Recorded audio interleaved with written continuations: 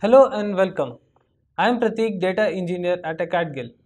This is the video in series of windowing function in Spark. We would understand the internals of first value and last value function in this lecture. Let's get started. These are inbuilt function which operates on set of rows and return a single value for each row from the underlying query. This can be very useful to simplify complex query and break them into logical components.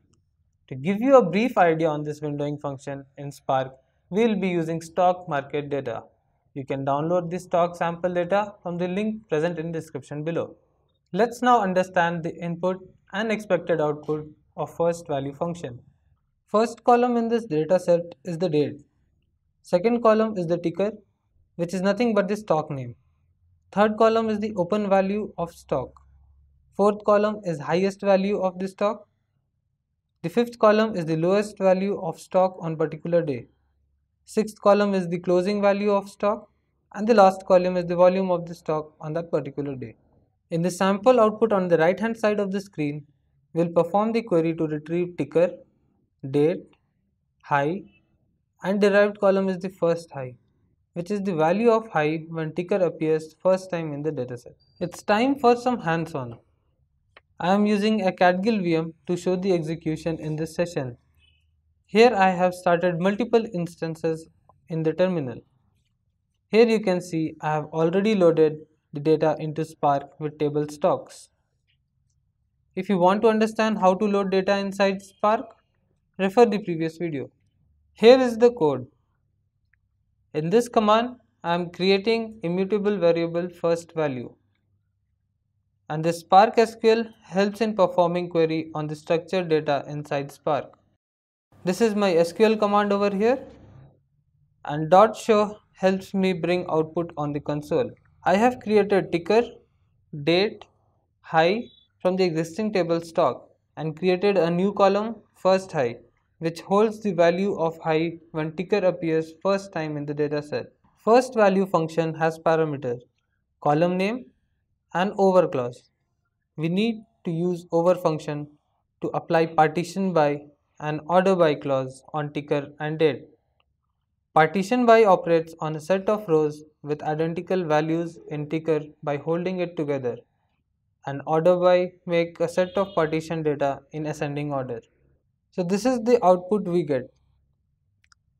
To summarize we can say the first value function can be used to retrieve the first entry in an ordered group of values. Similarly, let's understand last value function. Let's look at the input and expected output of last value function. We have already discussed the input dataset in previous section. In the sample output on the right hand side of the screen, we have performed the query to retrieve ticker, date, high from the existing table stock and derived the column last high which is the last value in the row set. So here is the code and this is my SQL command over here. I have selected ticker, date and high column from the existing table and created a new column last high which holds the last value in the row set which is from column high. Last value has parameter column name. We can see for each record value changes and is set to the last value that was pulled while executing query. Again, here also we need to use over function to apply partition by and order by clause to get sorted data. Now, what if we want the last value to remain the same for all the rows in the result cell? So, here is the code. In order to control the window of the results returned by the last value function, we can use the row between unbound preceding and unbound following clause. To summarize, we can say the last value function allows to return the last result from an ordered set. Using the default windowing clause, the result can be little unexpected.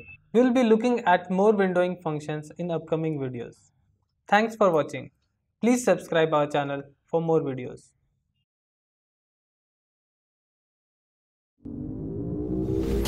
Acadgild. Average is dead.